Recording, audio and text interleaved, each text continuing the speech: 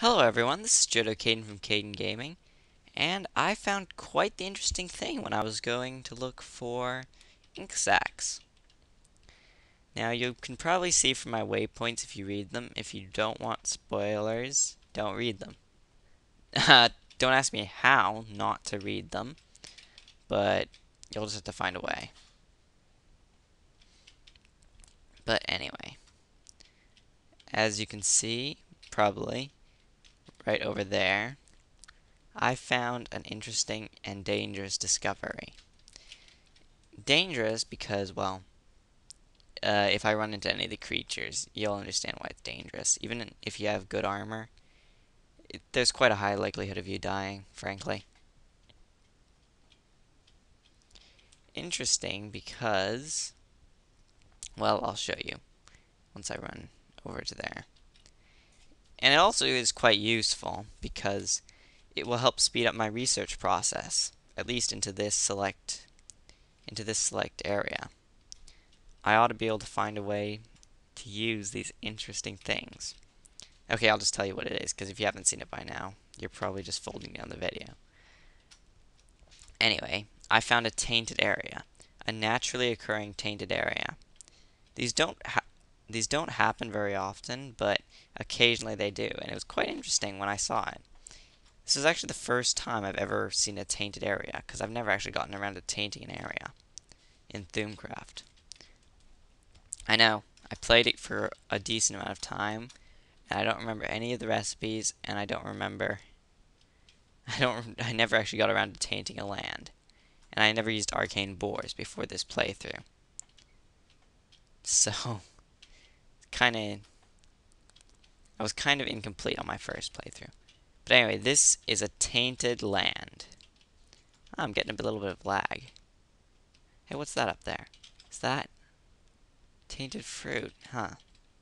It's an artifact. But anyway, I'm going to be cutting down some of these logs, which I can hopefully use to make something and to research a little bit. Oh wow, that thing just got tainted the moment I plopped it down. I'm definitely going to need to find some way to contain this taint. It's spreading way too fast. Whenever I first found it, it was just a tiny area. Now it's spread over the river. Originally, it was just a tiny area on one side of the river. And now it's already spread to this side. Thankfully, my house is made out of marble, which is a substance which resists and contains taint. So, I won't have to worry about my house getting tainted, but the area around it might get tainted. But anyway, once I get a research thing, I'll hopefully be able to research into taint and find a way to stop it. For now, the best thing I can do is just try to contain it and chop down as many of the trees as I can and limit how much taint flows into the other areas.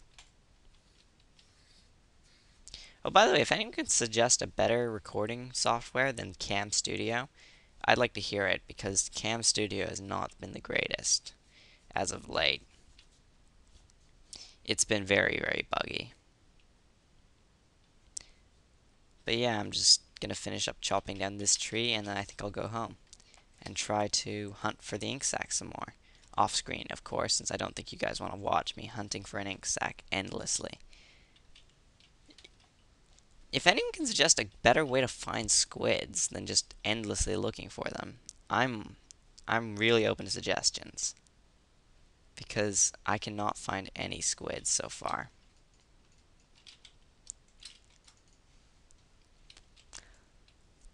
Uh, you know, I hate leaving trees without cutting them down fully. It just looks so ugly.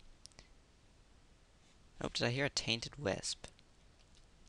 Oh no, if that thing becomes tainted, Oh man, that's that's going to be bad news for us all. If that wisp is tainted. Tainted wisps are dangerous. Even more dangerous than tainted creepers, I'd say. And tainted creepers are not something you want to play with.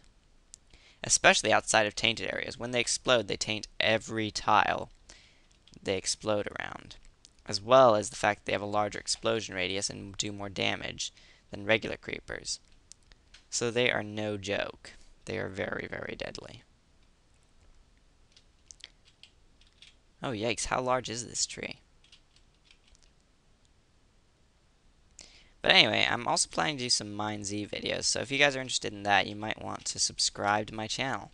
Yeah, I know, that's hopelessly trying to get subscribers. I know, that's really a really low tactic, but hey, subscribing, I mean, it doesn't take you more than a couple seconds, and it really does help me out.